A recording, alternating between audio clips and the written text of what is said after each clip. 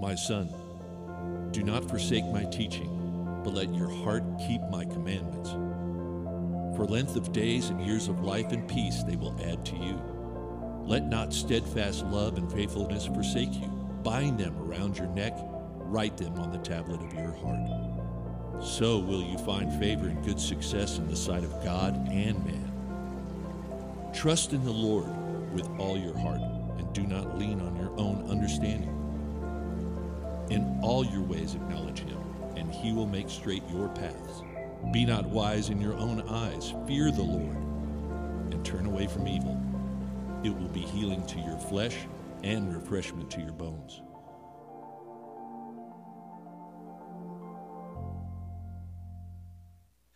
Well, that's going to kind of get us into this this morning and what we're doing. But before I jump in there, I was just standing there worshiping, and then I heard a voice behind me that I thought, "Oh, that sounds familiar." I turned around, and uh, there is Jim Frizzell sitting there. For the, it's good to have you with us, buddy. It's good to have you. We've been we've been praying over the last couple of weekends for Jim. Uh, he was in a uh, motorcycle accident, and so um, the fact that you're here is just I kind of gets me a little worked up. Anyway, it's good to see you, buddy.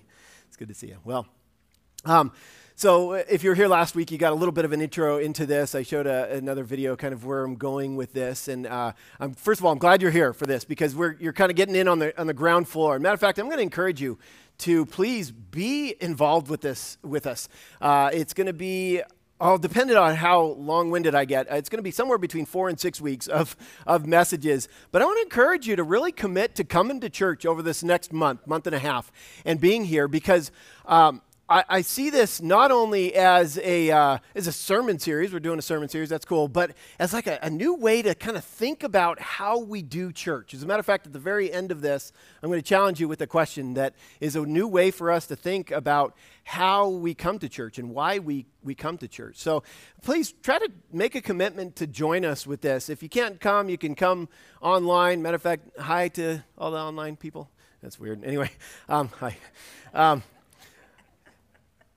this is a, a, maybe a new way for us to be thinking about church. So I showed you a little video last week. I'll give you a little recap of that video and, and share some of the things that have been on our hearts and minds as a staff, especially thinking through this. That really we want to be a church of, I, I said, we want to be a church of generations. And what I mean by that is that older generations are seeing their role to, to pour into younger generations. And not only that, the younger generations, those of you who are young in this church and maybe you haven't been on this planet for that that long, that you are actually willing and ready to look to older generations for their experience and, and for their wisdom. You're ready to, to receive that. And it's going to be both and. Every time I get up here, we're going to be talking about both and. Sometimes we want to kind of point the finger at everybody else and say, You're the one who's not doing the right thing. And and and uh, it's both and. We're going to we're going to come together in that because in every aspect of our culture right now and you see this as well as I do in every aspect of our culture there is this powerful pull to divide to uh, to separate ourselves based on our own honestly I'm just going to be straight up with you today based on our own self-interest because I want it a certain way. I want to do things in a certain way. And uh, we're so focused inwardly that we start to divide. And I'm just going to say that the young and old traditionally do not do very well in church together. That's a sad statement to me, but it's true. And this is why you see different uh, people going to different churches because um, we haven't really grasped this idea of legacy. Paul says in 1 Corinthians chapter 11, verse 1, he says, um, Follow me as I follow the example of Christ, right? In other words, he's not just interested in him following the example of Christ. I mean, that's good, that's important for him to do. But he's also interested in who's coming behind him, on who his legacy is. And I, I think that God has something more for us in that. Um, I, I want to. I think we have a chance to be different in the way that we think, in the way that we see church. And so we're going to dig into not only why do we struggle to come together, but how we could be we can be different. We can do this in a different way. I want to be, I want to be a collection of Christ followers who's fallen hard after Christ. Yes, not neglect that, but then who actually cares about who's following us, who's who's coming behind us. I think he's ordained it that older generations would pass wisdom and experience on to younger generations, and younger generations would use their wisdom, use their energy, use their vitality to serve not only the church, but to serve older generations. I think that's how he has it set up. And so we're going to look at that over the coming weeks. I used a quote from William James. He says, The great use of life is to spend it for something that will outlast it. The great use of life is to spend it for something that will outlast it. So I want to be a church that intentionally chooses to spend our lives on something that will outlast it. So uh, the word intentionally is going to be really key for us. We're going to keep coming back to that over and over because if we don't have intentionality with this sort of a thing, it doesn't work. It doesn't just happen naturally. If you look at what happens naturally, what happens naturally is we divide and we go our separate ways.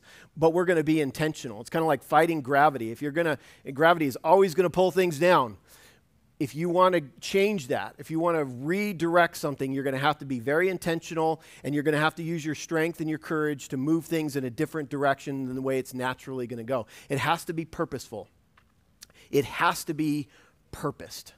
So, today, what we're going to do is we're going to kind of go back to a very what at first uh, hopefully it will probably seem very basic to you. You'll go like oh my gosh we've been here before. We've done that. We've talked about that before. But i want to maybe have you think about it in a brand new way that you've never thought of before. And it's going to start with a very uh, generic sounding question. It's number one on your outline. The question is what is your purpose? What is your purpose? Um, again don't pass over this. Don't just go, oh, yeah, I've been there, done that, heard that, talked about that, thought about that before. I want you to really think about the answer to this question What is your purpose? Purpose, by definition, is the reason for which something is done or the reason it is created. Why does it exist? That's, that's purpose. What is your purpose? You know, people have been trying to answer this question for I don't know, since the beginning of time, I assume, I, for millennia at least, people have been trying to figure out what is, what is my purpose.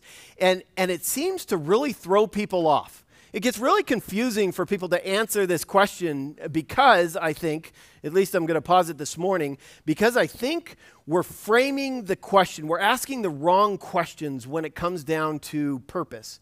Why is it that we are here?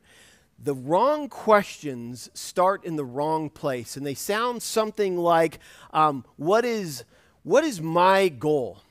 Um, what is my mission? What is my dream for my future? And when you start with questions like that, trying to figure out what your purpose is, when you start with questions like that, you are never going to find your purpose. And let me tell you why. This is, I think this is why we have such a struggle with this. The reason that is the wrong place to start is because you did not create you. Okay? You you didn't create you. So if you're going to you for the answer to the question, what is my purpose, then just right off the bat, you're starting in the wrong place. You're starting with the wrong questions.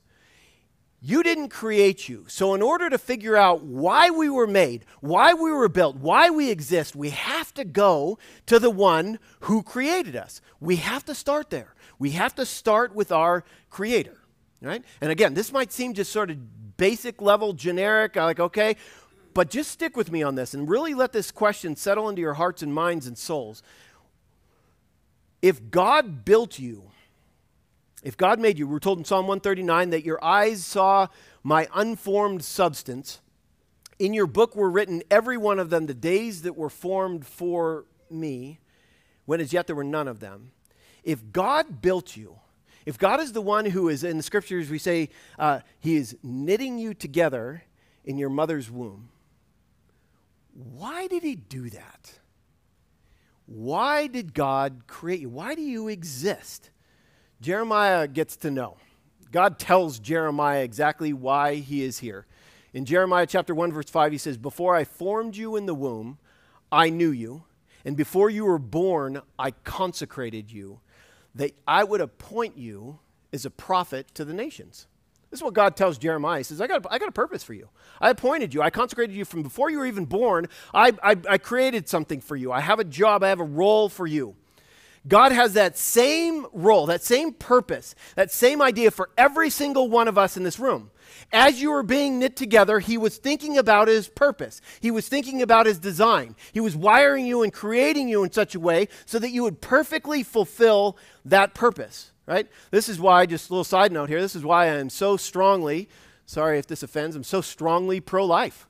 Because I believe that from the very beginning, from the very, very beginning, every single human being was being knit together, was being wired in such a way that God's purpose would be lived out in their lives. Right? This is why I believe that from the very beginning, God has intentionally, He has planned it so that we would be living out our, our purpose. Every single one of us, every single human being was created for a purpose. We have a reason for our existence. God's reason has to be our reason. Paul gets to know his reason for existence in Galatians chapter 1. He says, But when he who set me apart before I was born and who called me by his grace was pleased to reveal his son to me, was pleased to reveal Jesus to me, in order that I might preach him among the Gentiles. So God says, I got a purpose for you. Before you were even born, before, the, before you even came onto this planet, I had a purpose for you that you would preach the good news of the gospel of Jesus Christ to the Gentiles, to the non Jews, to the people who would never other he, otherwise hear it. Paul, I'm telling you, this is, this is your purpose. This is maybe one of several purposes, but this is going to be your purpose. When God created you, when God knit you together in your mother's womb, He did so with a purpose in mind. Every single one of you. The only confusing thing about this is when we start to look inwardly for our purpose. When we start to look at ourselves and go, what is my purpose? What is my goal? What is my hope for my future? And we fail to look at the one who created us. Colossians says that all things were created by him and for him. Everything was created by him. He was very intentional. He didn't just like leave us to chance, you know, like, good luck. I hope that one turns out okay. You know, like, like come on, you got it. No, he's, he's got a, he's got a plan. Man, he's got a plan. He's got a purpose. And you can't find your real purpose if you, keep, if you start with yourself. If you begin with you, then you're going to mess it up every single time. And some of you, I think, man, the moment you could understand this, the moment you could really grab onto this understanding that your purpose has to be God's purpose, I think you're going to find a lot of what you're looking for in this life. Because sometimes you know, we're walking around with no purpose, we're walking around with no direction. Young and old, doesn't really matter. Um, all over the map, we don't really know. We're looking at our lives going, what am I doing here? Why am I so unfulfilled? Why does it feel like I'm not even making any headway? Why does it feel like my walk of faith is always getting strung, strung back to the beginning? Why, we, why does it feel like I don't have any purpose? Maybe because your days are busy, you're full, but, the, but what you're filling yourself with is not fulfilling. It, it's, not, it's, not, it's not God's purpose for you. It's your purpose for yourself. That makes sense. But it's not God's purpose for you. I think if you could figure that out, if you could say, what, what is my purpose? What is God? Why did God create me? Then all of a sudden, the fullness of your days could actually be fulfilling. They could actually be fulfilling. It's only in God that we discover our purpose, uh, our significance. Um, every other path is just kind of a dead end. I, I talk about this analogy a lot because to me, in my mind, it just makes a lot of sense that we take our bucket and we put it down in a well, poof, but the well is dry. And so every single time we keep putting our bucket down into the well, and then we start pulling it back up, it's going to come up empty every time. We have to figure out what the right source is. So when you look to God, you're going to see that your purpose is very rarely inwardly focused. It is almost always outwardly focused. As a matter of fact, I put this for you on your sermon notes so that you would have it. Um, I think it's on the back top. God's purpose. Let's figure out what this is. God's purpose. God's purpose is to recreate this fallen world, redeem a people for himself who will glorify him and share his glory. That's, God's purpose, ultimate big picture purpose, that God is redeeming this fallen world and he is redeeming a people who will not only glorify him, but will someday eventually share in that glory. And so when we realize that that's God's purpose, that's God's purpose. He is redeeming this planet, He is redeeming people. Then what we do is say, okay, we need to make our purpose God's purpose. So we don't look to ourselves for that purpose, we look at God's purpose. This becomes our purpose. This becomes our drive. The redemption of this fallen world, the redeeming of people to Himself that we might give Him glory. We get to be a part. This is amazing to me that the God who created, and He could just boom, snap his fingers, clap his hands, whatever, and everything would be taken care of. But he doesn't do that. What he says instead is he says, Hey, here's my purpose. I want to redeem the fallen world. I want to redeem people and draw them to myself so they might bring me glory. And, and he says, And I want, this is crazy, and I want you to participate in that with me. Yeah, I could just do it. I guess God could just do it. He says, no, no, no, I got something better than that. I'm going to give you a chance. Every single one of you, a chance to redeem, be a part of the redemption of this world. Every single one of us. We're part of that. That becomes our, our purpose. He says, My plan to redeem the world is also your plan. This is what you're going to be a part of. And when we get that, then God's purpose becomes this driving force in our life. Number two, on your outline, what is the driving force in your life? Uh, it's a little different question. It sounds kind of the same, but it's a little different question. You think about the things that you drive. You know, you drive a, a car, you drive a nail, uh, you drive a golf ball. How many people like golf? okay? Okay, good. I used to like golf. I liked it until, I'll just tell you a quick story. There's nothing spiritual about this lesson except maybe there is. I was golfing with a friend in Lake Almanor, so hit the ball, and uh, it goes, shanks off and hits a house. And my buddy kind of gets mad at me. He's like, Paul, you're not supposed to hit the houses. I'm like, oh man, I know I'm not supposed to hit the houses, but I, I don't know what I'm doing. So he's uh, and so I get the second ball, I put it down, and I, I swing it, hits the same exact house a second time. He's like, Paul, you're not supposed to hit the houses. He got up. I'm like, oh. anyway, that's my golf story. That's why I don't. That's why I don't golf much anymore um, after that traumatic event. You think about the things that you drive. These are things that you're trying to guide and you're trying to direct. You're trying to guide and direct it in a certain way. Often, if it's a golf ball, it totally goes a different direction than you want to guide it or direct it. But what is driving? What is like directing, guiding your life right now. What is that? So, number one, what is your purpose? But then, number two, what is like pushing you toward your purpose? What is driving you toward your purpose? It could be a lot of different things. I started just trying to make a list. Obviously, I started already said self-interest self-interest drives a lot of our decisions a lot of the things that we do a lot of that makes sense and it's not all wrong i'm not trying to put that on us we, we all have that desire to be um, to be fulfilled and to uh, be safe, those sorts of things. So self interest isn't always bad, but sometimes we're driven by um, guilt, I think, maybe drives a lot of people. Um, what other people think about us is probably a big, a big driver. Um, sometimes, like things like resentment and anger and pain. Uh, drive us to do different things, make different decisions. Maybe it's a, a need for approval what is your purpose and then what is driving you toward that purpose. Before we really can jump into this generations project, we have to clarify these answers. We have to see this because otherwise, everything I do, everything I talk about up here, if we don't have our purpose and our drive down, everything that I talk about, it's just not going to make any sense. You're going to say things like, well, why would I want to do that? Why would I want to take that step? Why would I want to be involved in that? Because um, I, I, think because maybe our, our purpose, our, our drive are not coming from the right place. They're coming from a desire for the wrong things. Uh, I'll never forget Carol and I. We both taught at the same school. We didn't. We weren't there at the same exact time, but when we lived in Lake Almanor, we taught at this place called Chester Junior Senior High School. It's a junior senior high school. It's a small little town, and uh, I left. I got involved in youth ministry. Carol came. She was teaching there for a while. And I'll never forget this big kerfuffle happened on, uh, all, I mean, it went, it was all over social media at first. And then the little local newspaper grabbed onto his little tiny com- community. Um, what happened was somebody, somebody decided that it was time to clear out the old trophy cabinet. Yeah, you know what I'm talking about because that's a big deal, man. I was surprised. People got amped up about this. They were like all over. I mean, it was like big thing, big yelling, screaming matches at town hall meetings and all this sort of thing. Like, you can't get rid of, you know, this. And it was kind of interesting to me. I was doing youth ministry at the time, so I was hearing about it a lot, but I wasn't really involved. But Thank God I did not make that bad decision.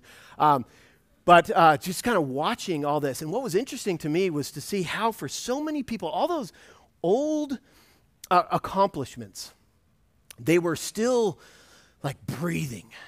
They still had so much life to them. It was kind of like Uncle Rico from uh, Napoleon Dynamite. Anybody know what I'm talking about?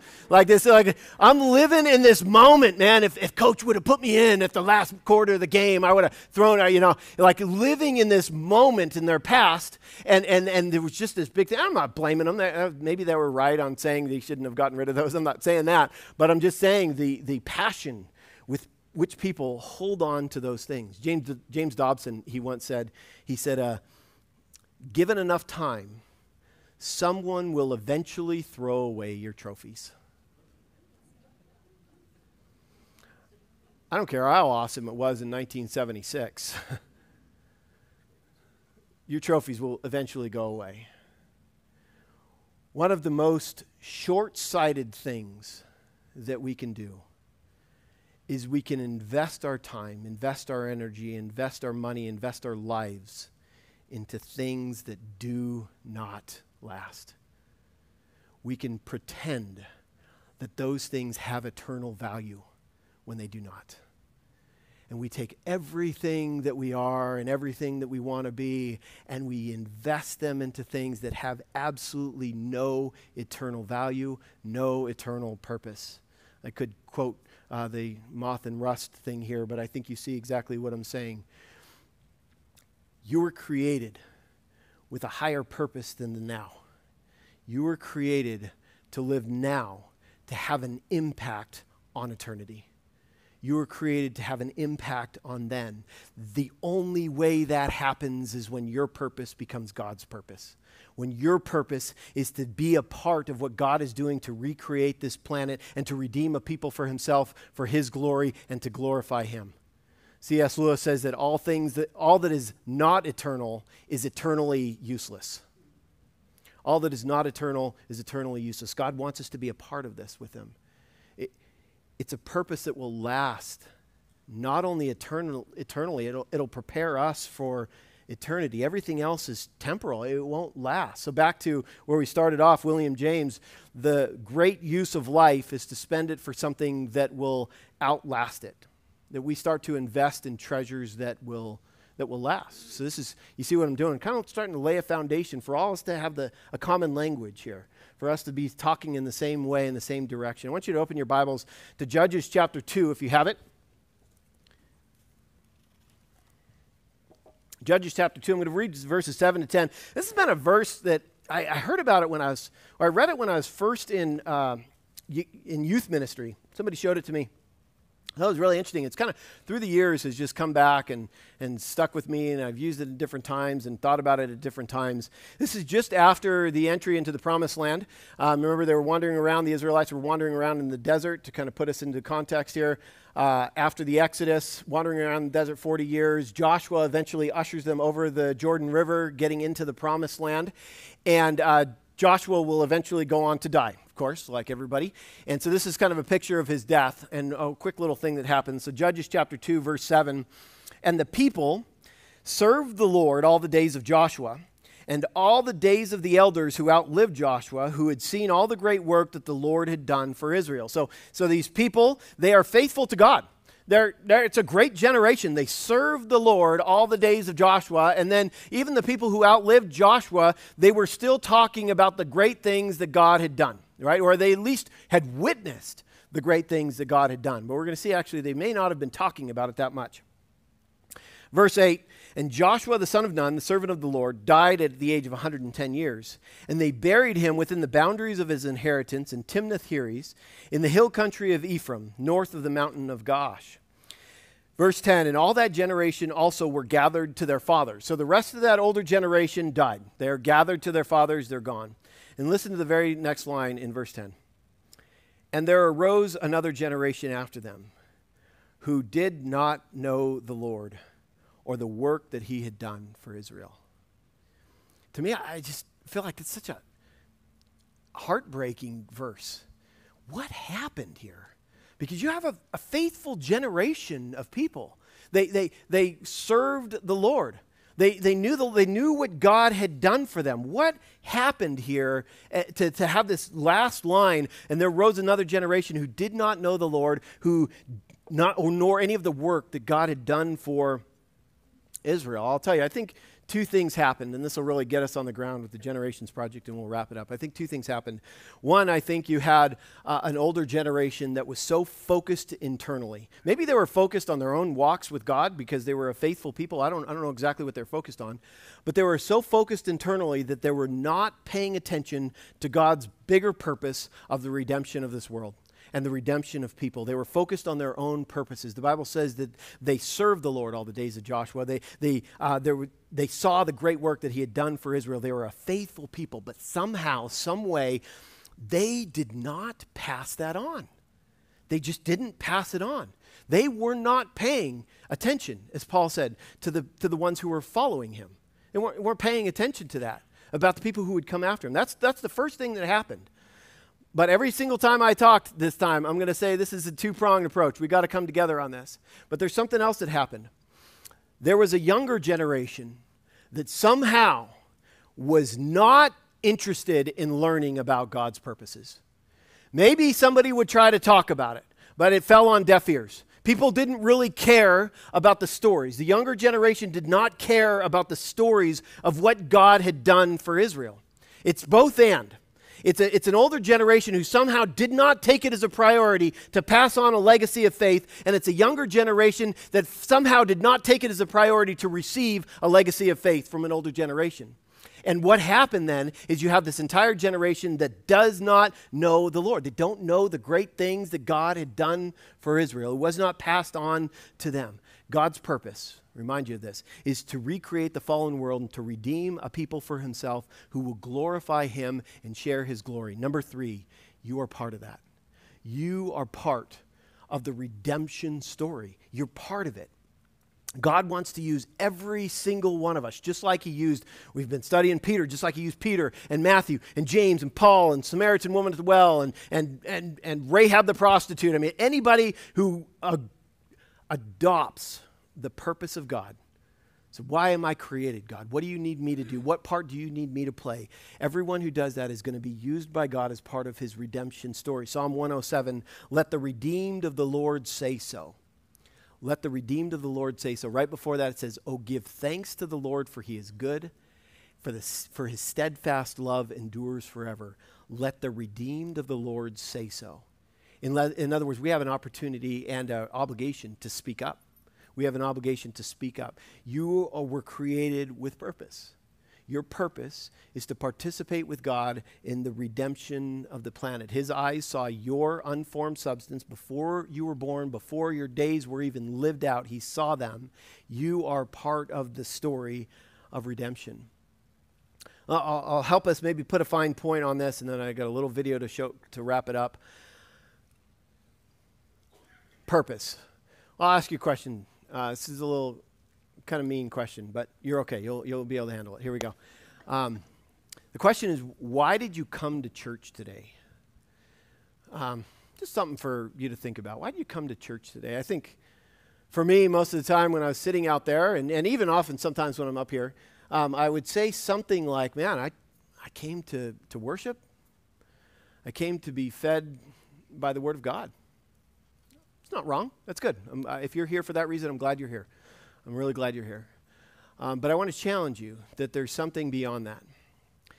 If you came for the purpose of being fed, and your thoughts never once turned to the purpose that God has you here to feed, I think you're missing at least a part of God's purpose if you are not seeing yourself as a part of the redemption of people, if you're not part of that process, then everything is going to be about you.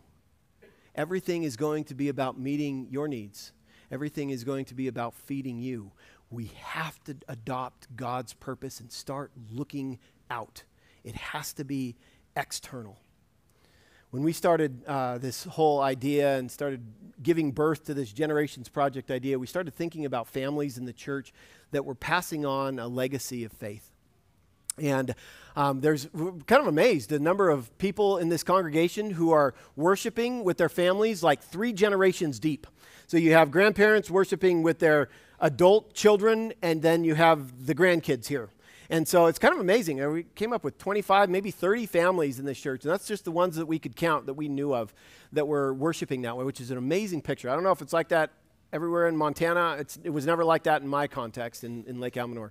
And so it's a pretty cool thing. So we started sitting down with some of these families and just asking them a question to kind of help share what is this, this conversation about a legacy of faith? Can you share that with us? And so the first family, family we started with was the Pierce family. Some of you know uh, Ronnie Pierce. Ronnie Pierce was a, a, pastor at Swan Chapel for 29 years. Uh, he was a chaplain for another 40 some odd years. He's been married to his wife Carol for 65 years. Uh, they, they, he said, they, We've known each other for 70, though. We've been hanging out with each other for a long time. Uh, okay. So just ask them to just share a little bit about this legacy of faith. So I'll turn it over to, to them.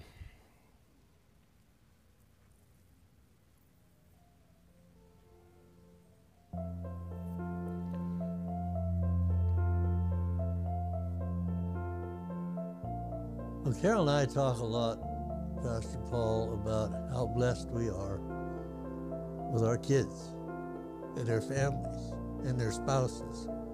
Uh, I mean, it's just, they they're just wonderful.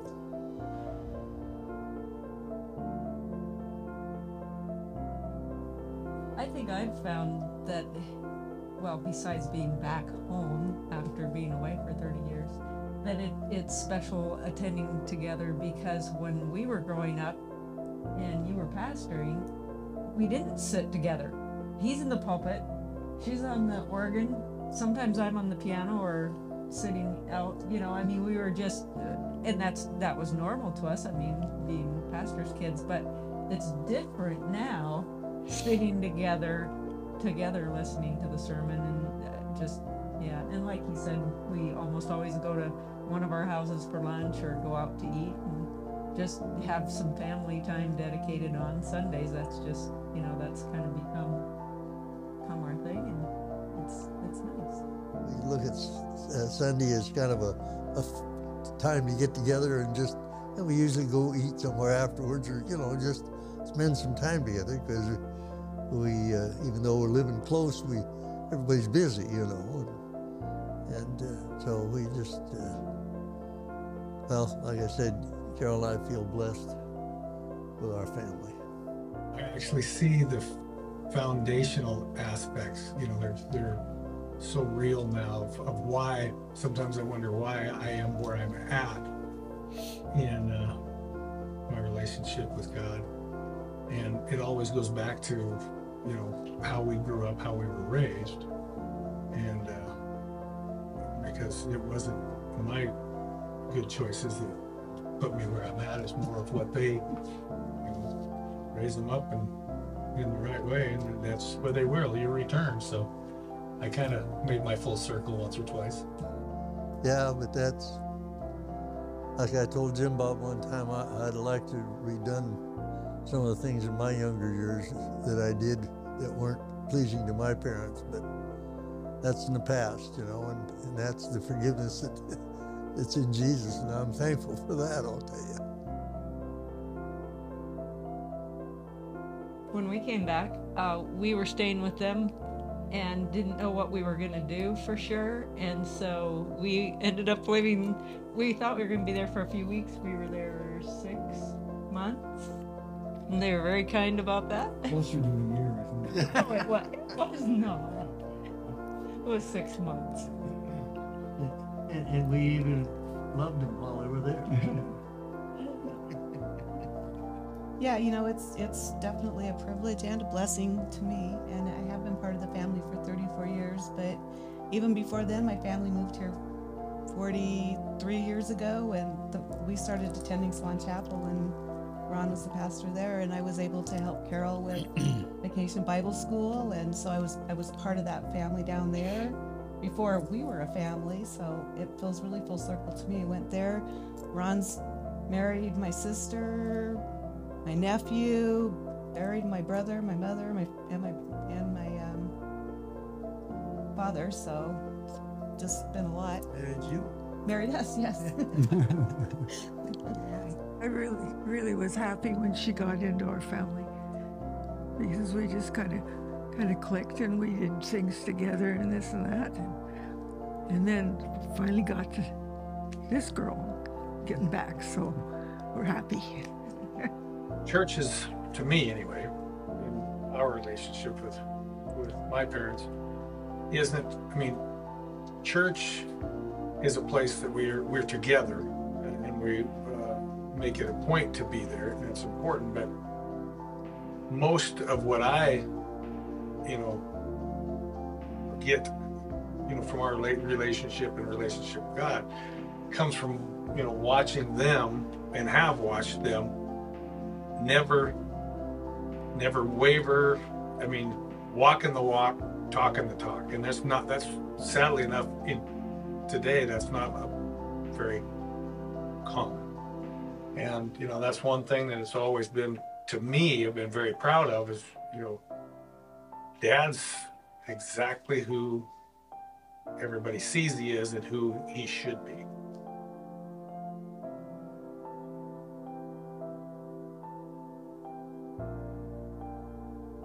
It's really a blessing to me because I didn't have that growing up. Um, I had a very religious mother. I started in the Baptist church when I was like six years old. But my dad never went to church. So I got it all just from my mother's side.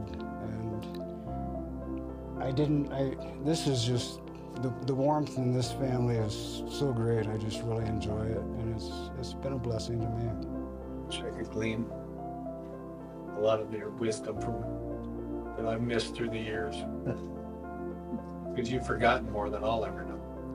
Well, you're, you're, you're fine, Jamal. Oh, I'll be fine. Yeah, it's because you guys raised me right. I would like to take some credit for that too. Well, yeah. Serena says, I'd like to take some credit for that too. Yeah, it's good. Why don't you do me a favor? Yeah, that's cool.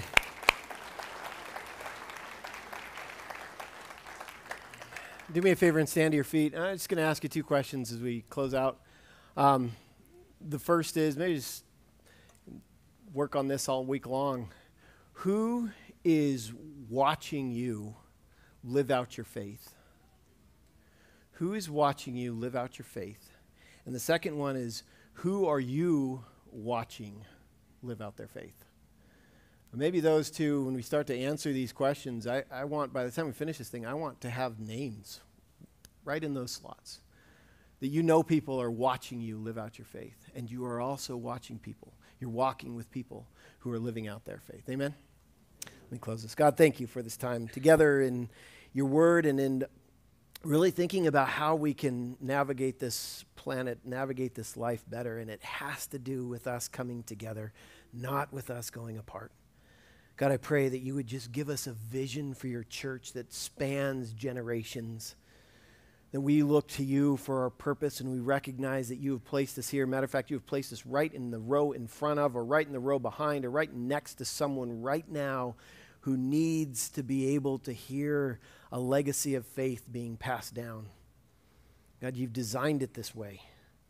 We get to participate with you in the redemption of this fallen world, and I believe that it starts right here in the church. This is the plan.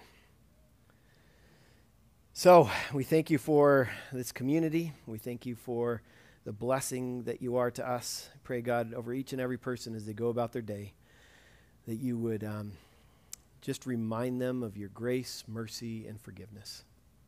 I pray this through your Son, Jesus Christ. Amen. Amen. Amen. All right. Hey, thanks again for being here this morning.